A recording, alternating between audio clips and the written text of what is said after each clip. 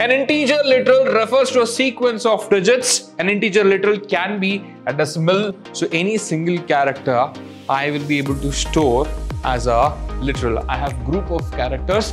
That's the reason I will be able to call this as a string. Once it comes to the concept of variables, what should I know?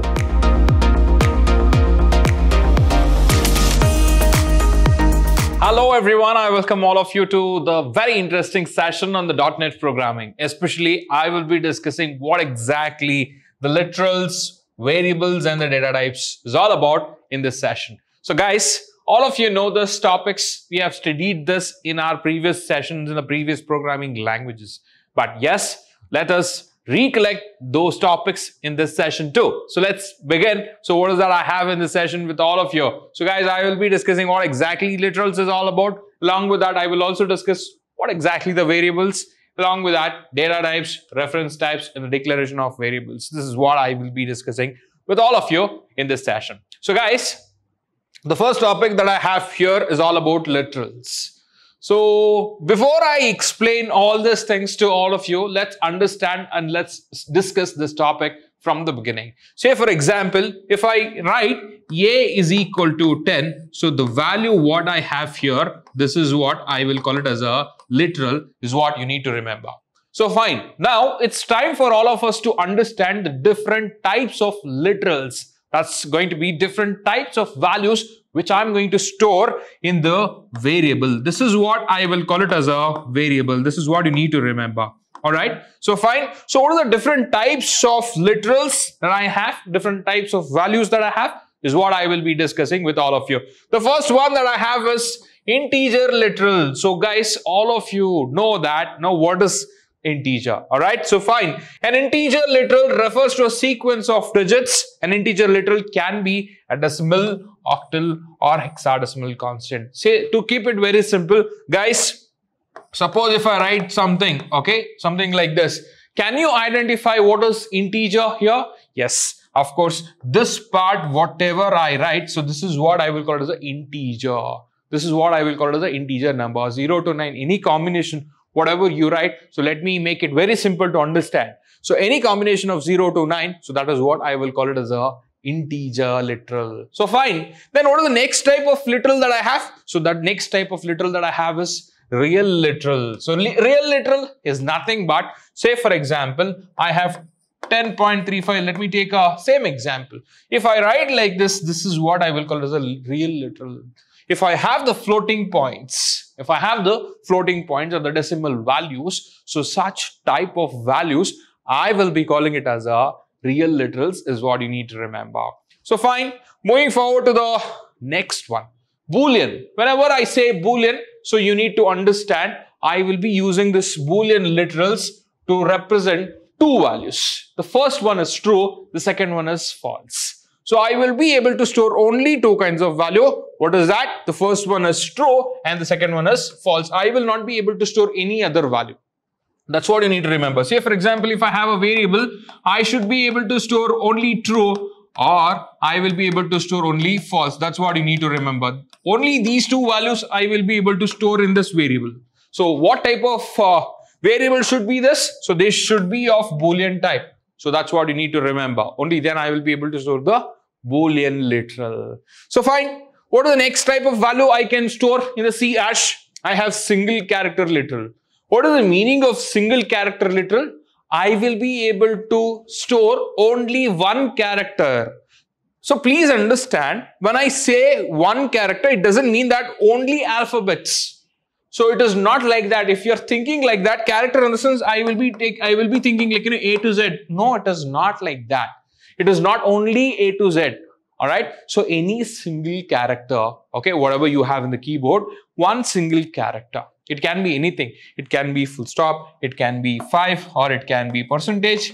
All these things are treated as character. I have, I have, uh, you know, semicolon. I have colon. A lot of things I have. So any single character, I will be able to store as a literal as a value in a variable. So that is one kind that I have here as a fourth one. All right, moving forward to the next one that I have. So string literal, you all know that. What is the meaning of string literal? Strings are the group of characters that I have. So that is what I will call it as a string literals. Say for example, if I write, if I write my variable as a and I will write within double quotes, I will write Koushik. Okay. So can I call this Koushik as string?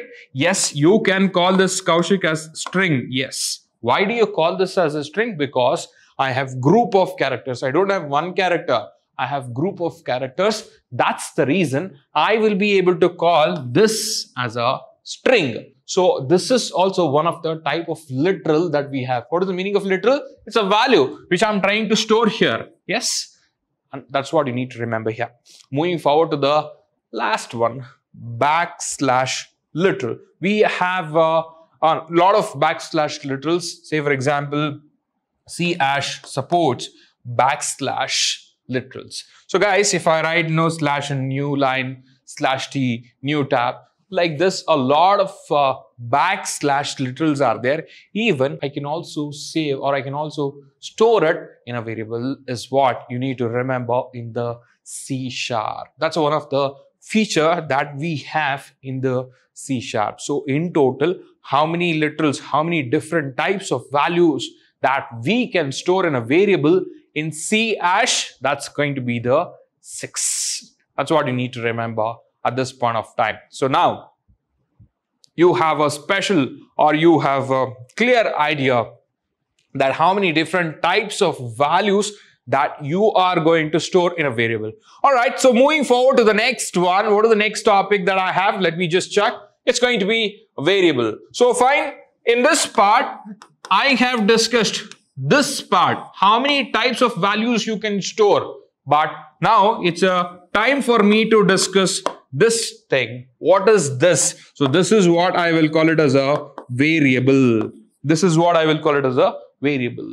Once it comes to the concept of variables, what should I know? So what is the important thing that I should know? So first thing that you should know is this is the name that you are giving for this memory location where exactly this 10 you are storing. For example, imagine this is what you will write in the program, right? But when it comes to the memory, imagine this is the memory location. This 10 you are storing in this location and you are naming or you are giving a name to this memory location that is E. So this is what I will call it as a variable name. This is what you need to remember. So fine, you understood that. The next important point that you need to remember with respect to the variable name is whenever you are naming a variable, you have to follow some of the rules. That is what we call it as the identifier rules. What is that rule that I have to follow when I'm naming a variable? The first rule that I have to follow is they should or they must not begin with the digit. That's what you need to remember. What is the meaning of it? So, say for example, I'm writing a is equal to 10. I cannot start like this 1a is equal to 10. So this is not a valid way to name a variable. That's the first point that you should remember. The second thing, uppercase and lower cases are different. This is the second thing that you need to remember. So what is the meaning of it? Say for example, A is equal to 10 and A is equal to 10. Both are different. Both are different. In the sense, it is case sensitive. This is what you need to remember in the second point. What is the third point that I have? So it should not be a keyword. What is the meaning of it? So all of you would have come across in the programming language. Guys, uh, do you all remember if? Do you all remember if? So what is the meaning of if? So you will be using this if for a, to check a condition, right? So something like this. Do you all remember something? Yeah, so we have studied this in a long back in ages back, right? So yeah, um, uh, that's what I'm speaking now. Can I write something like this if is equal to 10? No. Why? Because this if is already predefined. If it is a predefined, then I will be calling this if as a reserve word. So I shouldn't be using if is a keyword. If it is a keyword, I'm not supposed to use that as a variable name. That's what you need to remember with the third point. What is the fourth point that I have? When it comes to the fourth point, white space is not allowed. What is the meaning of white space? For example, I have A oh, I'm feeling bored, so I will give some space, then I will have B is equal to 10. Is this a valid? So in between I have white space. Okay, I've given, I've, I've pressed enter or I've Is it enter? No, I've pressed space bar. So guys, can I do that? No, you're not supposed to. You're not supposed to give space here. That's what you need to remember. No space is allowed in between. So that's what you need to remember. Suppose if you give like this, so to which variable shall I allocate or assign this value? So that will be a problem. That leads to confusion to the compiler. So that's why not supposed to give a white space. Moving forward to the last one, variable name can be of any length. So you don't have to worry about the length. So these points, whenever you are uh, declaring or whenever you are giving a name for the variable, so please take a little care whenever you are assigning or whenever creating the variable name. All right, moving forward to the next one. So guys, I have the data types. So let me just tell you why do we have data types and what is the use of data type. Let me just take an example uh, uh, to explain the concept of data types. Guys, uh, this is an intelligent way that we have in our programming language. Especially to manage the memory, we have this concept. Say for example, I have one coconut, okay? I have one coconut and I have one gunny bag and I have one handbag and one college bag. So which bag do you prefer to carry one single coconut? My dear students, obviously we prefer to carry a handbag, right? So why are you not choosing the gunny bag and the college bag? Gunny bag is too big to carry one single coconut in the same way. So the college bag is also too big to carry one single coconut. So in these two cases, I'm just wasting the space which is not required for me to carry one single coconut. So that's the reason I'm choosing the handbag. So just to save the space, I'm using the handbag. That's a point that you need to observe in this example. Same thing happens even in the programming language. So each literal has got different weightage of memory. So I don't have to waste my memory. So by allocating same amount of memory for all the literals. So that's the reason I have something called data types, which will allocate the fixed and the required size to allocate for the each and every different types of literals that I have. So that's the idea behind the concept of data type that we have. My dear students, let's take a look. What are the different types of data type that we have? So when it comes to the C hash data type, it's quite different when you compare to all other programming languages. So here, when it comes to the C hash data type, we have major categories as value data types, pointer data types, and the reference data types what exactly values data type and the pointer data type and reference data type. The major difference between this value and the pointer and reference data type is, so you will have two categories. These two comes to one category and this one comes to one category. So what happens with this category? You will be storing the values. But when it comes to these two, you will not store the values. Instead, you will store the reference. What is the meaning of reference? I have the value here, but where exactly I have the value, that address is what I will call it as a reference. So that reference you will be storing with the help of these data types. But when it comes to this category, directly you will store the values. That's the major difference that you should know before I start explaining the different data types that we have. Alright, so let's start. When it comes to value data type, my dear students, I have two category again. The first one is predefined data type Second one is user-defined data type. Let me just tell you what exactly predefined data type and what exactly user-defined data type. Predefined data type in the sense it is already defined. A user should not or user, user don't have to scratch their head to do anything. It is already there, just have to use it. But when it comes to the user defined, so user can customize his or our own data type however they want according to the syntax with respect to the enumeration and structure. Guys, that's what the meaning of user defined data type. But when it comes to the predefined data type, so we have integer, boolean, float, lot of other data types which we have already discussed as the fundamental data type comes to this category. I don't have to waste your time by discussing that no, each and everything again and again. All right. So this is a brief uh, discussion with respect to the value data type. But when it comes to the pointer data type, pointer is a variable which holds the address of another variable. That's what you need to remember.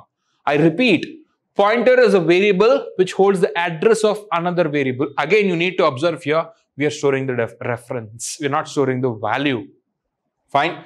When it comes to the reference data type, so I have again predefined and user defined. When it comes to the predefined, I have objects and strings.